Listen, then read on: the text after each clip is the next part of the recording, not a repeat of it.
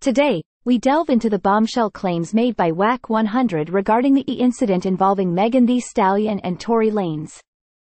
According to Wack 100, there is suppressed and unreleased footage that could potentially alter perspectives surrounding Tory Lanez's involvement in the shooting incident for which he was sentenced to serve 20 years behind bars. This footage has allegedly been withheld from the public by the courts and the prosecutors involved with the case, according to Wack. Wack 100 also suggests that if this footage is released, fans should hold Megan accountable for her narrative on what really happened that night. This new revelation has sparked widespread curiosity and debate within the entertainment industry and amongst social media, as it is hard for many to fathom that this footage could have been suppressed.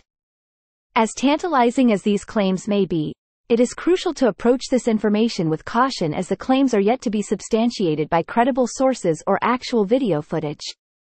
Many fans and experts have voiced skepticism towards Wack 100's assertions, questioning the reliability of his statements as well as the motives behind them.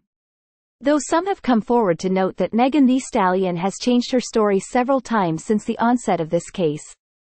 It has also been noted that Megan has made statements in court that directly conflict with statements that she has made on social media. The absence of concrete evidence and official statements has only fueled speculation and confusion surrounding the suppressed footage. While some speculate about the possible contents and implications of the alleged footage, others raise questions about why it has remained undisclosed for so long and why it is surfacing now. To confuse matters more, eyewitnesses are actually beginning to resurface.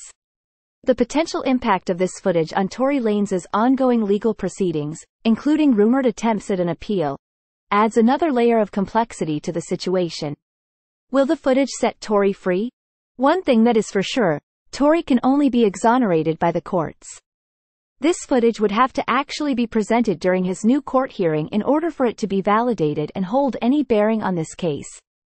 Until further information or official statements emerge, it's essential to maintain a balanced and unbiased perspective. Jumping to conclusions based solely on unverified claims can lead to misinformation as well as raising false hope for the accused, Tory Lanez. The internet is full of self-proclaimed investigators these days, that typically base their evidence on speculation and personal bias. As we await clarification and additional evidence, we encourage viewers to critically evaluate the available information and refrain from drawing hasty conclusions. Please like, share, and subscribe.